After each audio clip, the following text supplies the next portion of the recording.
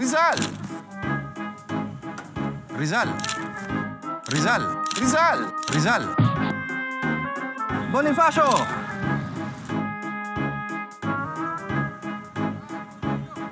Bonifacio! Bonifacio! Yan na yun? Ha? Yan na yun? Sandali nga, tol, ha? Bakit pag kay Rizal, maayos, malinis, grandioso, tapos pagdating dito kay Bonifacio, malapit sa kahirapan, maraming tao, maraming taong grasa, tsaka mga, yun nga, mga may hirap, at tsaka may basura. At may eh. Eh, Oo. Eto, eh. Bogs, halika nga dito, Bogs. Halika. Eto. eh nga.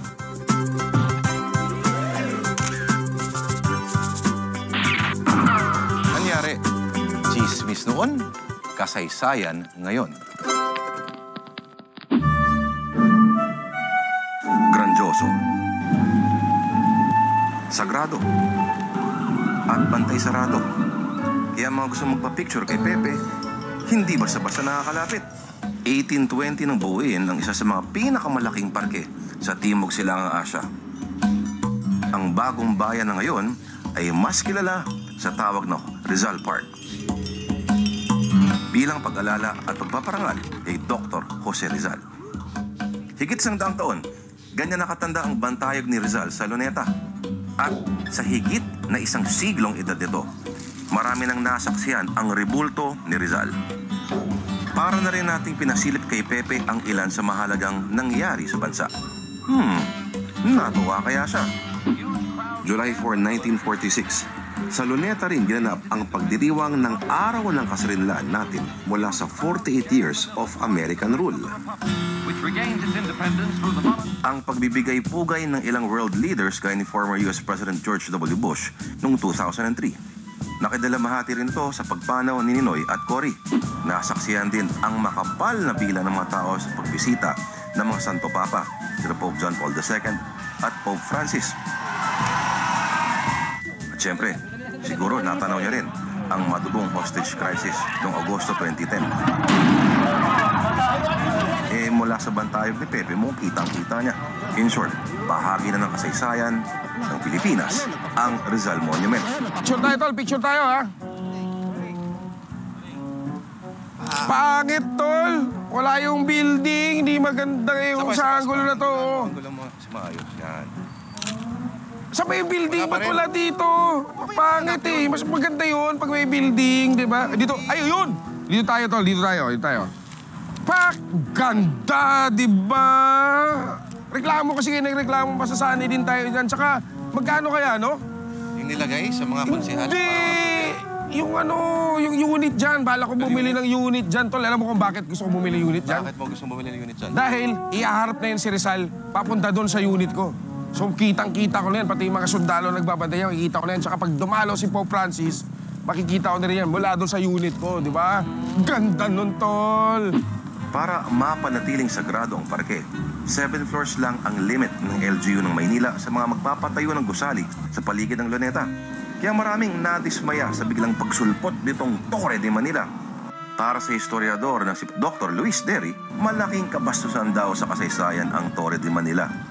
Kawalang-galang ng kasalukuyang henerasyon sa lahat ng mga dakilang bagay sa ating kasaysayan at kultura. Kawalang-galang. Kawalan ng pagpapahalaga. Ang pagkakatayo ng Torre de Manila ay nahahaluan na ng politika at ng pera. May ilang pagtatangka na rin noong baguhin ang itsura nito. Gaya na 1960s, alam nyo bang kinabitan ng bakal na may taas na tatlong palapag ang monumento? May pailaw pa sa taas, ha? Kasi ah, sinasabi nga it's like a beacon kasi it faces the sea, beacon daw for ships, and of course a beacon for the airplanes coming into the airport. No? Ah, syempre, ang dami na pangitan dahil una-una punggok na nga yung statwa, tapos pagkataas-taas ng tore, no? And ah, finally, after much controversy, it was finally removed. Fast forward sa 90s, bagong selebrasyon ng sentenaryo ng kalayaan ng bansa noong 1998. Pinlanong magtayo ng Mala Eiffel na Rizal Centennial Tower sa Luneta. Nagkaroon din ng mga opposition. Nag-die down yung plano, hindi na tinuloy. no? Yung planong Tory na yan. Ang Tore, naging paksana ng iba't ibang memes sa mapanghusgang mundo ng social media. Andyan ang pagkatake ng Angry Bird sa Tore, paglusob ng Clash of Clans, pagkain ni Cookie Monster sa gusali, at pagbuhat ni Darna. Alam mo ba, Oh. dito sa Bantayog ni Bonifacio at ng Katipunan, Oh. dito sa Manila, sa katabi mismo ng Manila City Hall, Oh. ginagawang tambayan ng mga Skater boys din. Skater Oo, boys. masang Hindi pwede sa luneta yan. Hindi pwede sa luneta Hindi yan. pwede yan, At oo. saka ito pa tol, may Oh. mga bata pa dito. Pero, Saka may maraming basura. At higit sa lahat,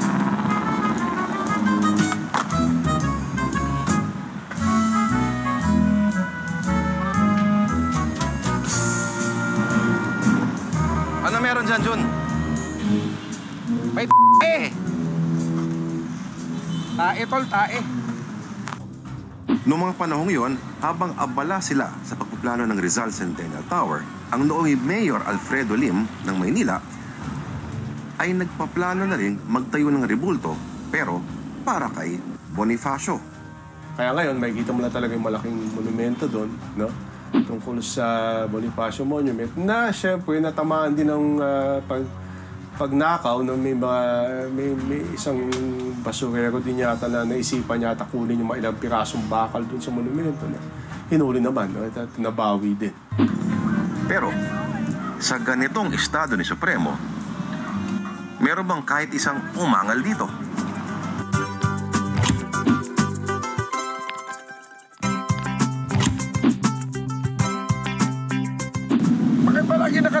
Yan si Rizal tol? Para tuloy bumukha siyang new wave, no? Tsaka yung pagkalat ng alta tuloy yan, no?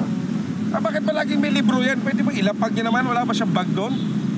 Tsaka yung bakit kanya yung mukha niyan? Yung mukha ni Rolwaldo Valdez, di ba? Sa bakit? Sabi mo, bakit, bakit? Bakit ka nandyan nakahiga sa hita ko? Luneta nga, di ba? Yung yung ginagawa sa mga luneta eh. Taong 1903, isang patimpalak ang binuksan ng pamahalaan. Ang hamon, bigyang muka ang kadakilaan ni Pepe. At huwag ka, pang-international ang labanan. Ang premyo, ang pribilehiyong idisenyo ang rebulto ng pambansang bayani ng Pilipinas. At tumataginting na cash prize sa 2,000 piso o sa halaga ngayon, mga 100,000 pesos. 1905 na ianunsyo ang napiling disenyo. At ang nagwagi, hindi, hindi, hindi, hindi, yan. Hindi yan nakikita ninyo ngayon sa luneta. Second place lang yan, mga tol. Ang totoong champion, ang likha ng Italianong eskultor na si Carlo Nicoli, ang Almartir de Bagong Bayan. O ha, pangalan pa lang, panalo na, di ba? Kaso, sa sobrang ganda nito, hindi ito ang opisyal na ginamit na disenyo. Ah, masyadong mahal, so hindi niya ma-fulfill yung kontrata. Binigay sa second prize. Ang second prize ay kay Ri- Richard Kisling. napunta sa Swiss sculptor na si Richard Kisling ang proyekto. At ito na nga ang Motostela o Guiding Star. Sa Tagalog, ang talang patnubay ng bayan. Kaya naman imported at made in Switzerland si Pepe. Pero ito ay hitik sa simbolismo. Andyan ang imahe ng ina sa tabi ni Rizal na kumakatawan sa inang bayan. Sa kabilang banda nito, si Rizal na kumakatawan sa edukasyon. Pero ang inaasang tanda ng kasaysayan, naging tampulan ng puna. Hindi raw kasi nito na isang buhay ang totoong nangyari sa kasaysayan.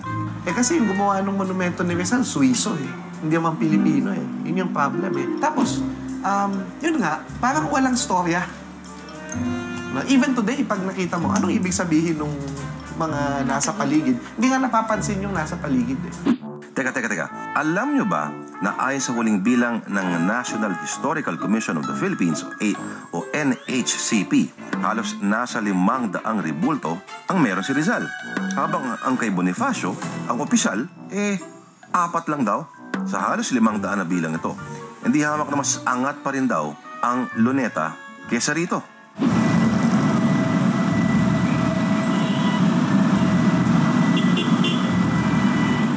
Andito tayo ngayon sa tapat ng isa sa sinasabing apat lang na opisyal na bantayog ni Andres Bonifacio sa buong Pilipinas. At di- dito raw mismo eksaktong lugar kung saan nagdeklara ng revolusyon si Andres Bonifacio. Pero etong tanong ngayon, kung napakahalagang bahagi yun ng ating kasaysayan, bakit nung umusbong yung mga supermart, yung mga mall, yung mga motel at sangkatutak na billboard sa paligid nito, bakit walang umangal? Hindi ganito ang itsura ng monumento dati. Malawak at maaliwalas ito noon. Minsan na rin ito ang naging sentro ng bakbakan noong World War II. So kung titingnan mo yung alaala ni Bonifacio, parang ganun din yung mga monumento niya. Parang clueless dun sa kanyang kontribusyon. Kaya kung may monumento siya, anong ginagawa? Ginagawang sabitan ng tolda ng Tiangge. Um, yung sa may Loton, ano, ginagawang CR yung likuran nung bantayog ni Bonifacio. Di ba? Tapos pag nakita mo, ano, yun nga, maraming kalat, no? Eh malaki pa naman daw ang pinag-ugatan sa kasaysayan ng mga pinagtayuan ng mga bantayog ng Supremo. Gaya na lang ng birthplace niya sa Tondo. Ang unang sigaw ng mga katipunero sa Balintawak at ang bantayog niya kung saan daw siya pinatay sa Maragondon, Cavite. Pero ang monumento nga sa Caloocan, pinaka magarbo pa raw sa bansa. Mas symbolic, mas meaningful ang kahulugan ng bantayog ni Bonifacio kung iahambing sa bantayog ni Rizal. Kaya, ang, ang kay Bonifacio ngayon ang lumalabas na pinaka-grand monument, grander than the Rizal monument. Tulad ng kay Pepe, nagsagawa rin ng isang international contest para sa magiging disenyo ng rebulto ni Bonnie. Kumonsulta din tayo sa mga espiritu. Ito, may kasama akong medium ngayon. Kukonsulta tayo sa espiritu, ha? Espiritu, nandiyan ka na ba, ha? Andito na ako, Apo. Andi, andyan ka na. Ano bang meron? Ano bang kailangan natin? Kailangan ko ng load. Load! Wala naman load sa kabilang buhay. Wala ka nang pakialam doon. Huwag ka kasi makialam sa Bayton. Ibang klase ano? Kung si Rizal imported ang eskultor, eto, ibang klase rin. Di ka launin naging pambansang alagad ng sining ang gumawa nito. Pero hindi lang yun, kakaiba. Gumamit siya ng mga espiritu. At sinasabi mo kung effective dahil kamukhang kamukha raw ni Bonifacio yung estatwang yan. Nasungkit ni Guillermo Tolentino, isang lokal na eskultor at part-time espiritista, ang grand prize sa kompetisyon. Dalawa lang raw ang pinagbasehan ng modelo ni Tolentino. Una, ang mukha ng kapatid nitong babae. Expediona, no, the youngest sister of um, of uh, Bonifacio. And sinasabi nga kasi mga kamag-alak, sila daw yung halos magkamuka. Pangalawa, nakipag-usap daw ito mismo sa kaluluwa ni Bonifacio. And of course, uh, Tolentino, who was an espiritista, the rest of the um, the manner, no, and of course the, the, the style of the Bonifacio, carrying a gun, carrying a polo, uh, was of course based on the descriptions of the Katipuneros who were still living at that time. Bukod sa plakadong mukha ni Andres, sinalamin din daw nito ang Philippine Revolution. Bawat elemento nga nito, meron daw salaysay. Mula sa tatlong baitang na sumisimbolo sa tatlong daang taong pananakop sa Pilipinas sa Espanya, octagonal base para sa walong probinsyang nag-aklas laban sa mga Kastila, pati ang imahen ng tinuturong advisor ni Bonnie na si Emilio Jacinto hanggang sa 45-foot pylon o obelisk na merong limang bahagi na tumutugon sa limang anyo ng lipunan. Ito ang katastaasan, kagalang-galangang katipunan ng mga anak ng bayan. Sa dulo ng pylon ay may imahen na parang anghel na tumutukoy sa pagtatagumpay ni Bonifacio laban sa mga mananakop. Yung mga emosyon ng mga tao sa paligid ng monumento, yung paghihirap, no, nandoon na, na ang ah, nahahapis ang mga nasa paligid ng monumento. Pero pag nakita mo si Bonifacio, siya lang yung kalmado. Na parang ito yung tamang pagdipik kay Bonifacio. Ang tanong, bakit nauwi sa ganito ang mga monumento ni Bonifacio? So kung titingnan mo yung alaala ni Bonifacio, parang ganun din yung mga monumento niya. 'Di ba? Yung yung image ni Andres Bonifacio, tinawag siyang bobo, akala nila hindi sila, siya nakapag-aral, ah, hindi siya marunong.